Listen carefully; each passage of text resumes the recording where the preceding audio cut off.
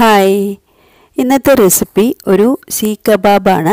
അപ്പോൾ അതുണ്ടാക്കാൻ വേണ്ടിയിട്ട് എന്തൊക്കെയാണ് വേണ്ടതെന്ന് നോക്കാം. അതിനാദ്യം തന്നെ ഒരു മിക്സിയുടെ ജാറെടുത്ത് അതിലേക്ക് ബോൺലെസ് ആയിട്ടുള്ള ഒരു അര കിലോ ചിക്കനാണ് ഇട്ട് കൊടുത്തിട്ടുള്ളത്. അതിന്റെ കൂടെ ഒരു വലിയ ഉള്ളി അത് ഒരു മീഡിയം സൈസുള്ള ഉള്ളിയാണ്. അപ്പോൾ അതൊരു കട്ട് ചെയ്തിട്ട് ചേർത്ത് കൊടുക്കുക. ഒരു ചെറിയ പീസ് ഇഞ്ചിയും രണ്ട് പച്ചമുളക് അതുപോലെ രണ്ട് ഉണക്കമുളക്. ഇത് ഇതിലേക്ക് ഇട്ട് കൊടുക്കുക.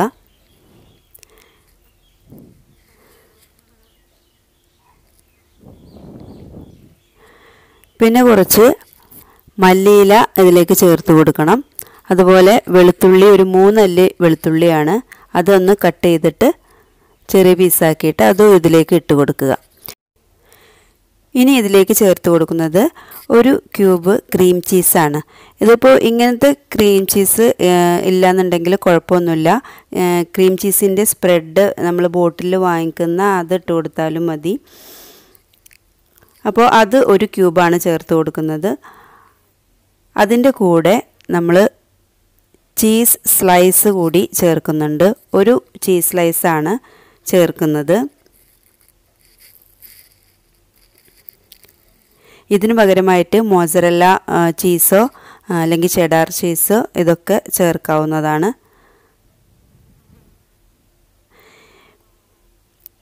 അതും ഇതിലേക്ക് കട്ട് ചെയ്ത് ഇട്ട് കൊടുക്കുക. പിന്നെ ഇതിലേക്ക് ആവശ്യമായിട്ടുള്ള ഉപ്പ് ചേർത്ത് കൊടുക്കണം. അതുപോലെ തന്നെ ഒരു അര ടീസ്പൂൺ കുരുമുളക് പൊടിച്ചത് അര ടീസ്പൂൺ ചെറിയ ജീരകം പൊടിച്ചത്.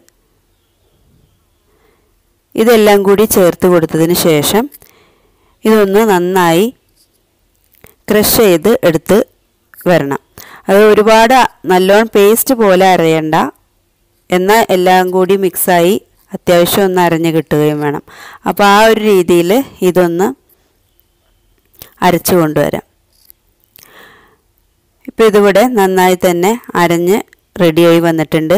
ഇനി നമുക്ക് ഇതൊരു വേറൊരു പാത്രത്തിലേക്ക് മാറ്റി കൊടുക്കണം. ഇപ്പം ഞാനിതിവിടെ വേറൊരു പാത്രത്തിലേക്ക് മാറ്റി കൊടുക്കുകയാണ്. ഇനി ഇതിലേക്ക് ചേർത്ത് കൊടുക്കേണ്ടത് ചെറുനാരങ്ങയുടെ നീരാണ്. അപ്പോൾ ഒരു അരമുറി നാരങ്ങ നീരാണ്. നല്ല നീരുള്ള നാരങ്ങയാണെങ്കിൽ ഒരു അരമുറി മതി. അല്ലെങ്കിൽ ഒരു എണ്ണം എടുത്ത് പിഴിഞ്ഞു കൊടുക്കുക. അപ്പോൾ അതും കൂടി ഇതിലേക്ക് പിഴിഞ്ഞ് ചേർത്തതിന് ശേഷം ഇത് കൈ വെച്ച് തന്നെ നന്നായിട്ടൊന്ന് കുഴച്ച് യോജിപ്പിക്കണം.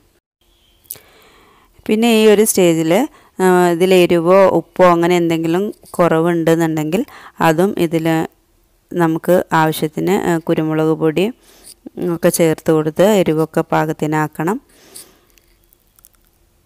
ഇനി ഇത് നമുക്ക് ഷേപ്പ് ചെയ്തെടുക്കുന്നുള്ള ഒരു പ്രോസസ്സാണ് അപ്പോൾ അതിന് വേണ്ടിയിട്ട് ഒരു ടൂത്ത് പിക്ക് വെച്ചിട്ടാണ് ഞാൻ ഇത് കുറച്ച് കബാബ് ശരിയാക്കുന്നത്. അപ്പോൾ രണ്ട് രീതിയിൽ ഉണ്ടാക്കുന്നുണ്ട്. അപ്പോൾ അതിന് വേണ്ടിയിട്ട് ടൂത്ത് പിക്ക് വെച്ച് ചെറിയ ചെറിയ ഉരുളകളാക്കിയിട്ട് അത് ടൂത്ത് പിക്കിൽ കോർത്ത് കൊടുത്തിട്ടൊന്ന് പ്രസ് ചെയ്ത് കൊടുക്കുക. അപ്പോൾ അങ്ങനെയാണ് ചെറുത് ഉണ്ടാക്കുന്നത്. അപ്പോൾ ചെറിയ ചെറുത് ഉണ്ടാക്കിയതിന് ശേഷം ബാക്കി വരുന്ന ഇതുകൊണ്ട് നമുക്ക് കുറച്ച് വലിയ കബാബ് കൂടി ഉണ്ടാക്കാം. അപ്പോൾ അതിന് വേണ്ടിയിട്ട് ഒരു സ്പൂണോ അല്ലെങ്കിൽ ഒരു കത്തിയോ നീളത്തിലുള്ള ഒരു കത്തിയോ ഉപയോഗിച്ച് നമുക്ക് അത് ചെയ്യാവുന്നതാണ്. ഇപ്പോൾ ഇവിടെ ചെറിയതെല്ലാം റെഡി ആയിട്ടുണ്ട്.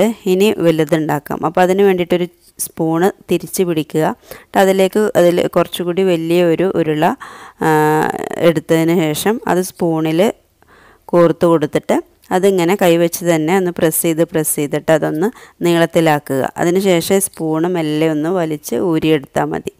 അതേപോലെ തന്നെ കത്തിയിൽ ചെയ്യുമ്പോഴും നമ്മൾ ഇത് ചെറിയൊരു ബോൾ അതിൽ വെച്ച് കൊടുക്കുക. എന്നിട്ട് അതൊന്ന് പ്രസ് ചെയ്ത് പ്രസ് ചെയ്തിട്ട് ഒന്ന് നീളത്തിലാക്കി കൊടുത്തിട്ട് കത്തി വലിച്ച് ഊരിയെടുക്കുക. അപ്പോൾ ഇതിൽ ഞാൻ കത്തി വെച്ച് ചെയ്യുന്നതാണ് ഒന്നും കൂടി ഈസി ആയിട്ട് എനിക്ക് തോന്നിയത്.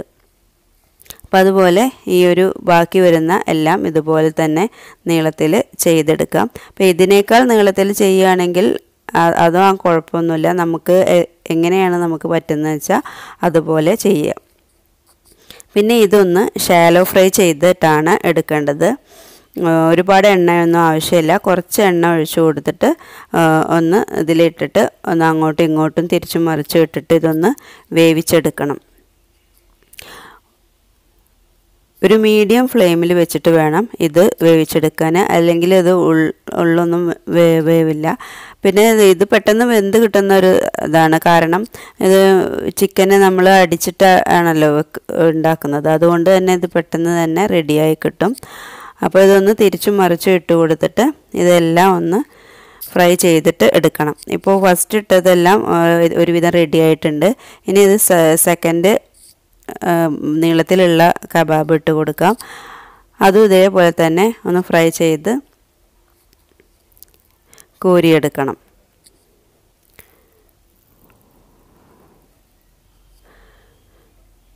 ഇപ്പോൾ ഇവിടെ കബാബ് മുഴുവനായിട്ടും ഫ്രൈ ചെയ്ത് റെഡി ആയിട്ടുണ്ട്. അപ്പോൾ ഇനി ഇതിലേക്ക് നമ്മൾ ആദ്യം വറുത്ത് വെച്ചിട്ടുള്ള കബാബ് കൂടി ഇതിലേക്ക് ഇട്ട് കൊടുക്കുക.